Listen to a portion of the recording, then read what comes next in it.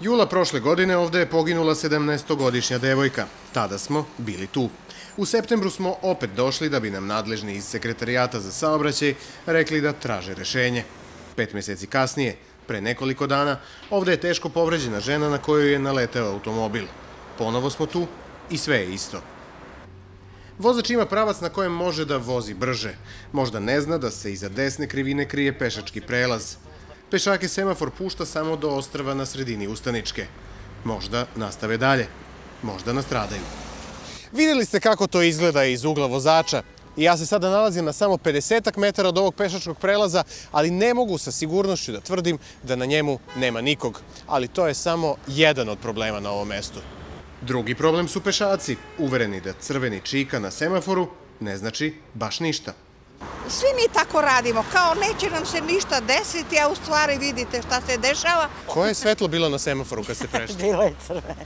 Pa zašto? Pa videla sam da nema kola. Bilo crveno, ali nikoga nije bilo. To bezbedno. Bezbedno. E pa nije bezbedno. Pojedini tablidi pišu da je ova raskrsnica ukleta. Nije, samo je pogrešno regulisana.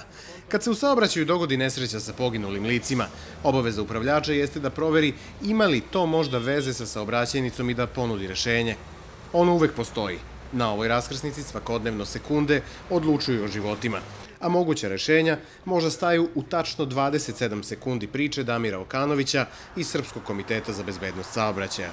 Ovde treba preduzeti mere za disciplinovanje pešaka, kako represivne, tako i preventivne, odnosno edukativne mere.